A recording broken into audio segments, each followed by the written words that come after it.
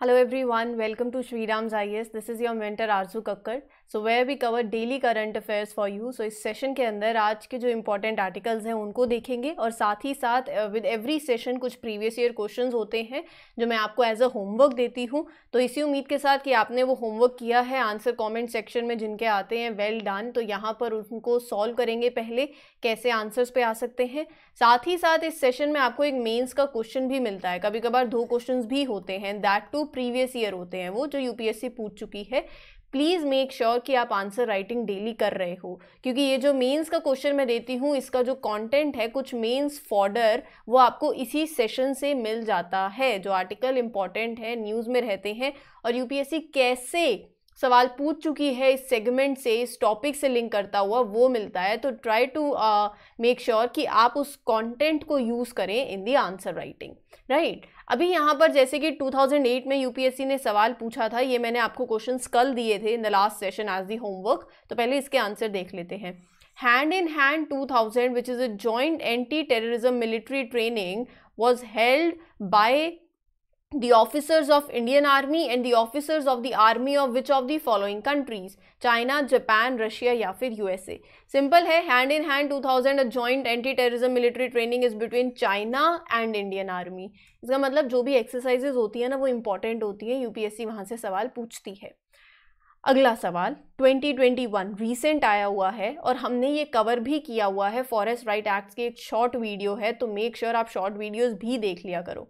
At the national level, which ministry is the nodal agency to ensure effective implementation of scheduled tribes and other traditional forest dwellers recognition of the Forest Rights Act 2006 right right, तो 2021 में ये सवाल UPSC ने पूछा था और अगर आपको थोड़ा सा भी आइडिया हो फॉरेस्ट राइट्स एक्ट के बारे में basically this act recognizes the rights of forest dwelling tribal communities other traditional forest dwellers right तो ये एक्ट के बारे में we have covered in the short video so make sure आप वो लेक्चर देख ले।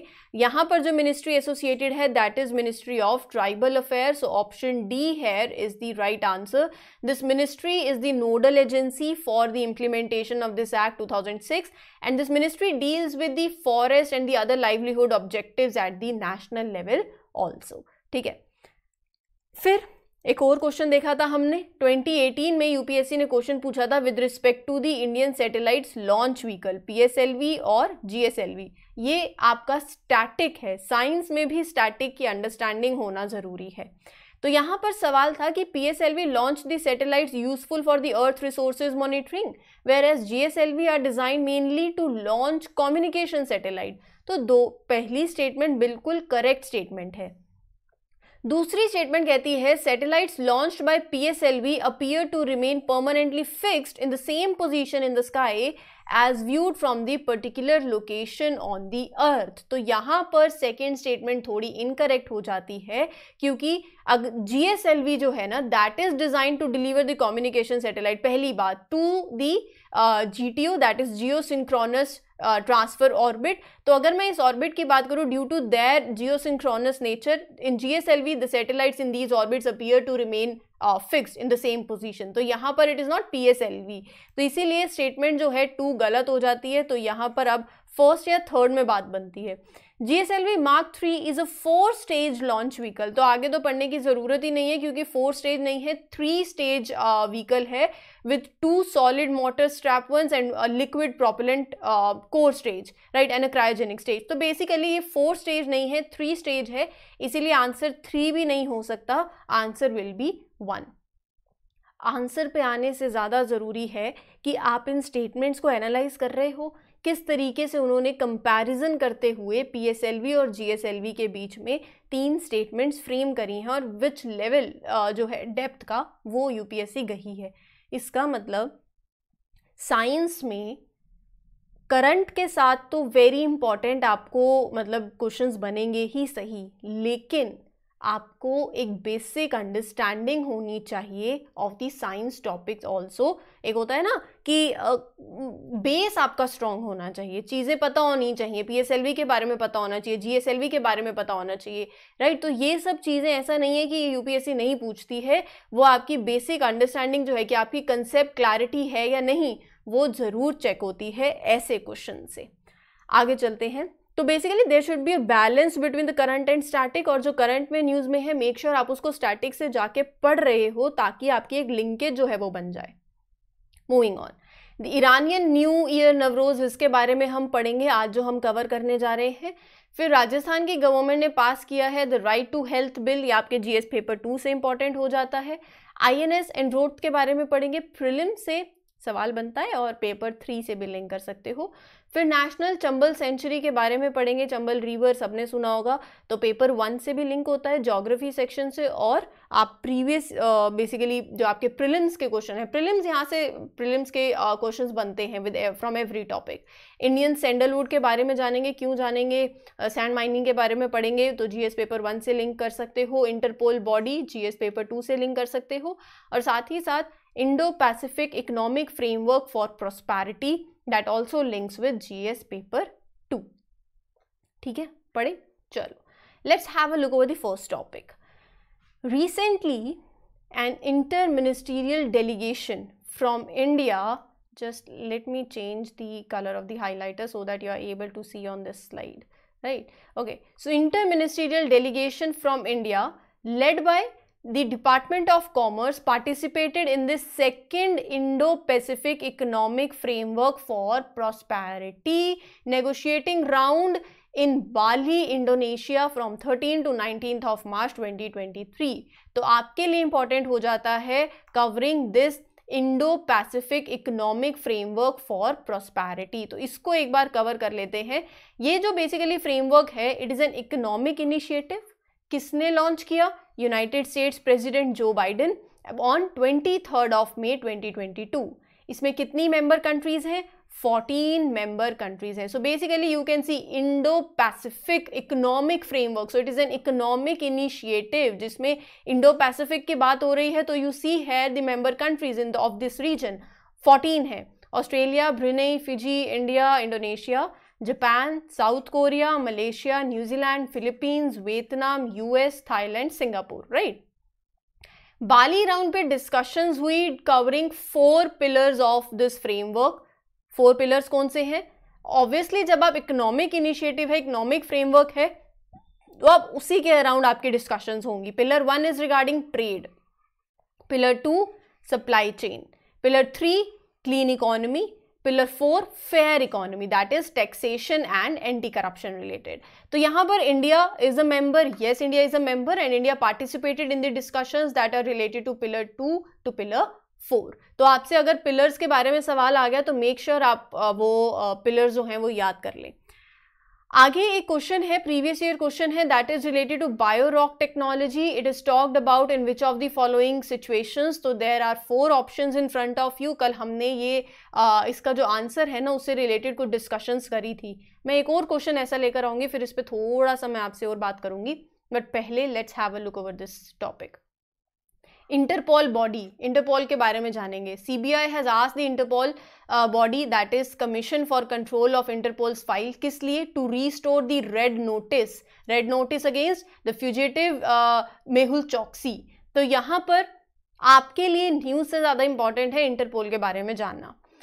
Interpol basically it was set up in 1923 by how many countries 20 countries who saw an urgent need जो uh, जो पुलिस है क्रॉस द बॉर्डर जैसे यहाँ पर C B I right is a member of of Interpol तो Interpol basically ensures the cooperation between the police across borders right तो वहाँ पर Interpol comes in this idea was born in at the first international criminal police Congress held in Monaco in 1914 तो idea 1914 में आया, लेकिन interpole was set up in 1923 तो ये ध्यान में रखना है by how many countries 20 countries तो ये वर्ल्ड की ना लार्जेस्ट इंटरनेशनल पुलिस ऑर्गेनाइजेशन है विद सेवन रीजनल ब्यूरोज और इसके national world wide national central bureau हैं in all the 195 member states it is the only organisation with the mandate और साथ ही साथ टेक्निकल इंफ्रास्ट्रक्चर भी to share the police information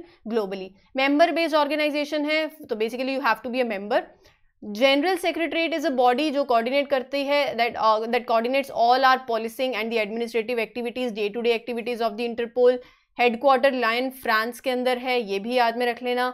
India oldest member है of Interpol India ने कब join किया था? 1949 में.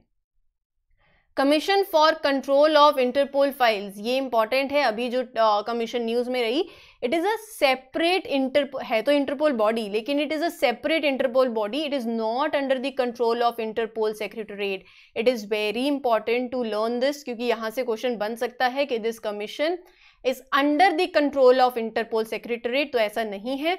And it is mainly staffed by elected elected lawyers from different countries way people can challenge the decision to declare them fugitive अभी जो red notice की बात हो रही है it is the highest level of alert by the 195 member strong police cooperation organisation right किस लिए होता है? To locate and arrest the fugitive pending extradition surrender और similar legal action that is related to अभी के लिए मेहुल चौकसी से। तो ये है आपका इंटरपोल के बारे में, अब कोई भी स्टेटमेंट बनेगी, आप कर सकते हो। हमने कोरल रीफ्स के बारे में पढ़ा था। एज इन जब मैंने बताया था कि सी वीड जो इन्वेजिव स्पीशीज है how it is impacting the coral reef आपके लिए ये बनता था कि आप खुद से जाके अगर आज आपने कोरल रीफ के बारे में पढ़ा है न्यूज़ में रही सीवीड के बारे में मैंने आपको कवर किया था तो आप जाओ, अपना इन्वायरमेंट सेक्शन आप किसी भी, जो भी आप रेफ़र कर रहे हो, वहाँ से कोरल रीफ के बारे में पढ़ लेना. That should be your homework और आपके माइंड में खुद से भी आना चाहिए सबसे पहले तो। हर चीज़ पूर्ण फीडिंग नहीं होती, राइट? तो ऐसे आपको करंट को स्टैटिक के साथ लिंक करना है। अगर आपने ये करा है, अगर आप ये अवेयर हो कि ये चीज़ इंपॉर्टेंट है और उसी दिन आपने कोरल रीफ पढ़ लिया होगा तो एक तो आपका टॉपिक डन हो गया और क्वेश्चन ऐसे ही आते हैं जो करंट में न्यूज़ होगी, उसको स्टैटिक के साथ लिंक करके ही क्वेश्चन आएँगे। ये होता है स्मार्ट वर्क हार्ड वर्क सब कर रहे हैं you have to do smart work अब यहाँ पर मैं इतना कुछ क्यों बोल रही हूँ? क्योंकि ये क्वेश्चन है ये जो आपके सामने 2018 में यूपीएससी ने पूछा that is related to coral reef और जिन्होंने कोरल रीफ के बारे में पढ़ लिया है, वो इस क्वेश्चन को सॉल्व कर सकते हैं। तीन स्टेटमेंट्स हैं, मैं पढ़ देती हूँ, लेकिन आप इसका आंसर जो है वो ज़रूर सोचना और फिर हम इसको लेंगे इन दी नेक्स्ट लेक्चर। तो पहला क्वेश्चन जो स्टेटमेंट है, that is, most of the world coral reefs are in tropical waters. More than one third of the world coral reefs are located in the territories of Australia, Indonesia and Philippines. Coral reefs host for more number of animal, uh, animal file uh, than those hosted by the tropical rainforest. तो कौन सी statement correct है? Try to solve this and then we'll talk about it in the next lecture. Okay okay. जो हमारे prime minister हैं उन्होंने Japanese prime minister को gift किया आप ये देख सकते हो एक sandalwood Buddha statue the statue depicts Buddha sitting in the dhyana mudra under the Bodhi tree तो आपके लिए अब यहाँ से क्या इंपॉर्टेंट हो जाता है बुद्धिज्म के बारे में पढ़ना? क्योंकि बुद्धिज़्म, जैनिज़्म से सवाल यूपीएससी पूछती है। ये यही है यही कॉमन सेंस है, यही आपका जो माइंड है क्या इस डायरेक्शन में चलता है कि आज मुझे बुद्धिज़्म के बारे में जाके पढ़ लेना चाहिए। और Buddhism is a very favourite topic as in कि यहाँ से हर साल यूपीएससी देखो, एक दो सवाल ज़रूर पूछ लेती है। रही बात सैंडलवुड की तो वो हम कवर कर लेते हैं। इंडियन सैंडलवुड एक is a dry deciduous forest species native to China India Indonesia Philippines Australia right sandalwood की बात करें तो it has been associated with the Indian heritage and culture country कितना कंट्रीब्यूट करती है? 85 percent of the world sandalwood trade right लेकिन lately there has been declining at the faster rate also वो movie नहीं आई थी? मेरे को मूवी का नाम याद नहीं है बट वो डायलॉग है ना एक श्रीवल्ली सॉन्ग भी था उसमें और पुष्पा जो करेक्टर था बट वो मूवी का नाम आई थिंक यही मूवी का नाम होगा but I am not sure वहाँ पर भी अगर आपने वो मूवी देखी हो किसी ने तो that was also regarding this illegal smuggling of sandalwood उसके बारे में वहाँ पर डिपिक किया हुआ है तो थी मूवी की उसके रिगार्डिंग भी थी राइट right? तो अभी सैंडलवुड के बारे में वापस बात करो तो this is a small tropical tree that grows to 20 metre high with red wood and a variety of dark colours of bark इसको देखने के लिए आप ये देख सकते हो राइट? ये पिक्चर जिसकी यहाँ पर वो बात कर रहे हैं। And because it is strong and durable sandalwood is mostly harvested for its timber और इसका sandalwood is one of the most sacred herbs of Ayurveda also India में सैंडलवुड, मोस्टली आंध्र प्रदेश, तेलंगाना, बिहार, गुजरात, कर्नाटका, मध्य प्रदेश, महाराष्ट्र, तमिलनाडु में it is mostly grown Karnataka वो state है that is sometimes called as Gandharagudi और the land of sandalwood क्योंकि मैं अब कल्चरल हेरिटेज की बात कर रही हूँ so this art of sandalwood carving has been the integral part of the cultural heritage for centuries it has been earlier traced back to third century B C sandalwood development board भी है that the state set up to ensure that the resources are sustainably manage IUCN red list status में the species is in vulnerable category ठीक है? रही बात Buddhism से associated वो question आप खुद से वो सेगमेंट आप खुद से कवर करोगे, आज बुद्धिज्म के बारे में ज़रूर पढ़ना और फिर ये क्वेश्चन सॉल्व करना, क्योंकि देखो 2012 में यूपीएससी ने क्वेश्चन पूछा था lord Buddha's image is sometime shown with hand gesture called bhumi sparsha mudra it symbolises तो चार ऑप्शन हैं आपके पास। मतलब कोई भी मुद्रा क्या सिंबलाइज कर रही है यूपीएससी यहाँ से क्वेश्चन फ्रेम कर सकती है तो मेक श्योर sure आपको उसके बारे में नॉलेज हो। एक जनरल अंडरस्टैंडिंग होना बहुत ज़्यादा ज़रूरी है राइट right? तो कोरल रीफ्स के बारे में जिन्होंने नहीं पढ़ा वो कोरल रीफ्स के बारे में पढ़ेंगे। साथ में मेक श्योर sure कि आप आज बुद्धिज़्म के बारे में भी पढ़ लें। नेक्स्ट टॉपिक पे चले फिर?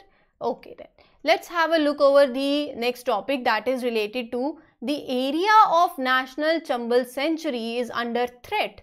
Threat of illegal uh, threat because of this illegal sand mining activities that are carried out there and they are damaging the ecosystem and endangering its flora and fauna. Iske liye ek high level meeting was held in jaipur to protect the sanctuary Chambal की बात हो गई है तो ये आप map में अगर देखोगे this river that we are talking about so ये जो है चंबल नदी, ये यमुना को जाके ज्वाइन कर जाती है। It is a tributary of Yamuna. So Chambal river basically located है इन द नॉर्दर्न इंडिया सबको दिख ही रहा है। It flows through three Indian states MP से ओरिजिनेट होती है, फिर थोड़ा सा कोटा के पास, राजस्थान में एंटर करते हुए देन उत्तर प्रदेश में इट एंटर्स तो MP Rajasthan and UP they are the three states and this Chambal also form the part of Rajasthan and Madhya Pradesh border so this Chambal river is a tributary as I said and its join it is the second biggest tributary of the Yamuna river right और फिर Yamuna is the largest tributary of Ganga right तो ये अब आपको कुछ बातें जो हैं पता होनी चाहिए थी चंबल रिवर की। अगर कोई मुझे बता सकता है, किसी को भी कुछ आइडिया हो about the main tributaries of Chambal तो वो कमेंट सेक्शन में ज़रूर बताना। और साथ ही साथ एक सवाल, चलो और बता देना। अब मैं चंबल रिवर ये तो बता दिए कि एमपी में ओरिजिनेट होती है, कहाँ से? विच टाउन तो वो ज़रूर मेंशन करना in the chat section comment section अब चलते हैं, थोड़ा सा इसके बारे में जान लेते हैं। नेशनल चंबल सेंचुरी जैसे मैंने बताया located at the tri junction Rajasthan MP UP and it is a fragile lotic ecosystem important है, बन सकता है सवाल। It is a which is critically important breeding ground for gharials important है, ये पूरी लाइन इंपॉर्टेंट है। सेंचुरी प्रोटेक्टेड है under the wildlife protection act 1972 ये भी इंपॉर्टेंट है। इसका मतलब ये जो सामने लिखा हुआ है ना, कहीं से भी सवाल बन सकता है। And is listed at the important bird and the biodiversity area it is also a propose Ramsar site अब यहाँ पर क्योंकि सैंड माइनिंग की बात हो गई है तो सैंड माइनिंग के बारे में भी जान लेते हैं। Sand basically is classified as the minor mineral जब हम सैंड माइनिंग की बात करते हैं ना तो वो भी आई टेल यू बट उससे पहले देख लो sand is classified as the minor mineral under the mines and minerals development and regulation act 1957 and administrative control over the minor and mineral waste with the state government यहाँ पर इतना अच्छा एक UPSC statement frame कर सकती है आपके लिए तो मेक श्योर sure आपको ये पता हो। अब उसके बाद आगे देखो तो देखो rivers and coastal areas are the main source of sand सबको पता है। एंड डिमांड जो है सैंड की वो इन द रिसेंट ईयर्स बढ़ गई है because of the construction and the infrastructure development boom जो हुआ है कंट्री में। मिनिस्ट्री जो है environment forest and climate change की has issued the sustainable sand mining management guidelines किस लिए? To promote scientific sand mining and environmentally friendly manage practice illegal sand mining नहीं हो, क्योंकि आपको पता ही है, उससे इशू देखो वाटर स्कारसिटी इंपॉर्टेंट है, ये सब पता होना चाहिए आपको। सैंड माइनिंग से सबसे पहले तो जो स्पीशीज़ हैं, उसको इम्पैक्ट होता है। अभी इसी के लिए तो मीटिंग हो रही है। There they are damaging the ecosystem and endangering the flora fauna there right sand mining can lead to the depletion of ground water resources. And cause water scarcity in the nearby areas also right and uh, even floods. So excessive sand mining can cause the river beds to become shallow, which can increase the risk of floods also. And there are illegal activities. So unregulated sand mining involves illegal activities like encroachment on the public land, corruption, evasion of taxes. तो ये सब जो है that is related to it यहाँ पर ना 2019 में एक मीन्स का क्वेश्चन भी है इससे associated let me show you पहले प्रिलिम्स का क्वेश्चन देखो। 2020 में ना यूपीएससी ने इसी से क्वेश्चन पूछा था that is related to major minerals in India which of the above are the officially designated as major minerals चार ऑप्शंस हैं। Tell me the answer recent ही है 2020 में पूछा। सैंड माइनिंग से रिलेटेड 2019 में यूपीएससी फ्रेम्ड क्वेश्चन मेंस का question है। आपके लिए होमवर्क है। आज लिखना है। Coastal sand mining whether legal और illegal poses one of the biggest threat to our environment. Analyse the impact of sand mining along the Indian coast वो मैंने अभी आपको जो बातें बताई, दो तीन बताया ना citing specific examples so examples भी देने हैं, ये एक्सप्लिसिटली मेंशन कर दिया है। तो try to write the answer with respect to this question जैसा भी मतलब टूटा फूटा आंसर जैसा भी बनता है, बस लिखने की कोशिश करा करो। आई एन एस एंड्रोथ देख रहे हो? बस, इसके बारे में पढ़ना है। It is second in series of eight anti submarine warfare shallow water craft so it was launch in Kolkata ये सेकेंड है in the series first name I N S का वो आपको बताना है in the comment section so this I इस series में that is anti submarine warfare shallow water craft में I N S Androth it is a series of eight I N S Androth is the second one it was launch in Kolkata I N S Androth इसे नाम कहाँ से आता है? From the largest and the longest island that is Androth island कहाँ पर है? Lakshadweep archipelago. Map में चले जाना आज। थोड़ा सा मैप प्रैक्टिस कर लेना। It was build by very important garden research ship builders and engineers in Kolkata. Important है। आई एन एस एंड्रोथ ये जो है, recently launched, it is propelled by three diesel driven water jets. Important है। Primary role क्या है? To conduct anti-submarine operations in the coastal waters, low-intensity maritime operations and mine-laying operations. So basically, the ship may be smaller in size but also carries lightweight torpedoes, ASW rockets and mines, a close-in weapon system and 16.7 mm stabilized remote controlled guns. Right?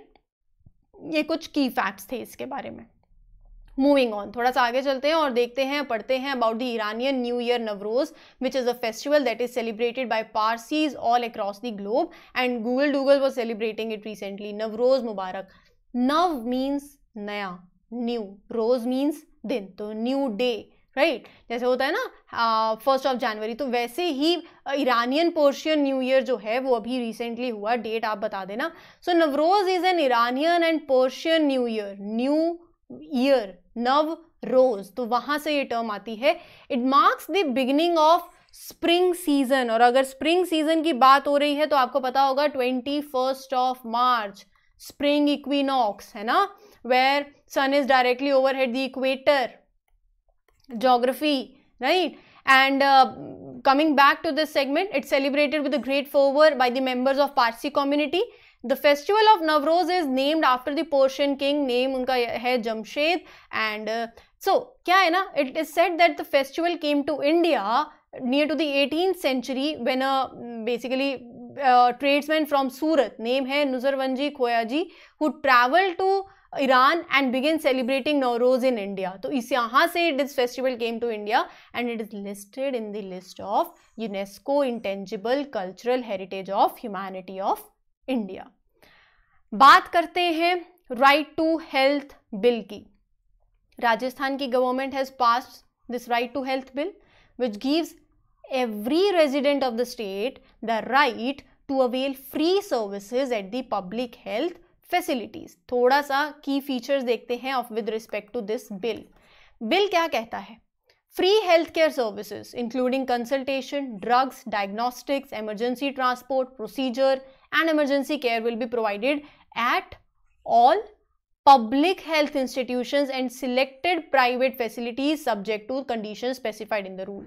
Bill ये mandatory करता है हर hospital को to provide treatment in the emergency cases without waiting for the legal formalities and give medicine and the transport facilities without charging money so the implementation of this law is expected to do away with the out of pocket expenditure और transparency और accountability लाना within the health care system right to health की बात करते हैं थोड़ा सा obviously एक लाइफ और एक डिग्निफाइड लाइफ में बहुत ज़्यादा फ़र्क होता है। डिग्निटी के साथ जीना। तो the right to health is the essential component of human dignity and it is a responsive एक सरकार की it is a responsibility of the government to ensure that the right is protected and promoted for all the individuals फिर वहाँ पर दे regardless कि वो कौन से जेंडर से हैं race ethnicity religion socio economic status कुछ भी नहीं right to health is the essential component of human dignity and it should be ensure that it is protected part four जो है कॉन्स्टिट्यूशन का under the DPSP ensure social and economic justice to the citizen वहाँ पर भी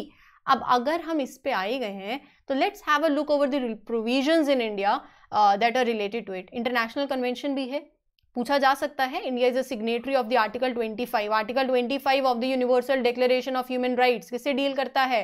That grants right to the standard of living advocate for health well being article 21 of the constitution guarantees fundamental right to life and personal liberty जिसमें right to health is inherent to the life with dignity DPSP देखो तो 38, 39, 42, 43 and 47 they are related to the health right to health से relate करते हैं ये right? तो I hope ये आपको जो है समझ आ गया होगा अब और यहाँ पर अगर आपसे कोई क्वेश्चन पूछा जाए तो आप उसको अच्छे से लिख भी सकते हो राइट टू हेल्थ उसके प्रोविजंस और देर आर चैलेंजेस इससे जो एसोसिएटेड हैं। इंडिया में हेल्थ से associated in advocate health care infrastructure है हाई डिसीज बर्डन है gender disparities limited health financing है तो ये सब कुछ इश्यूज़ हैं। इन इश्यूज़ को देखते हुए आप एक वे फॉरवर्ड पे भी अप्रोच कर सकते हो, राइट? right? तो आई होप आपको ये सेशन अच्छा लगा हो अच्छा लगा है तो all you need to do is session को लाइक करना है शेयर करना है, और साथ ही साथ don't forget to subscribe to Shri Ram I S channel for such amazing videos do mention the answers of the question in the comment section this is your mentor Arzoo Kakkar signing off We'll meet you tomorrow with other set of important current affairs. Till then, take care everyone. Happy learning.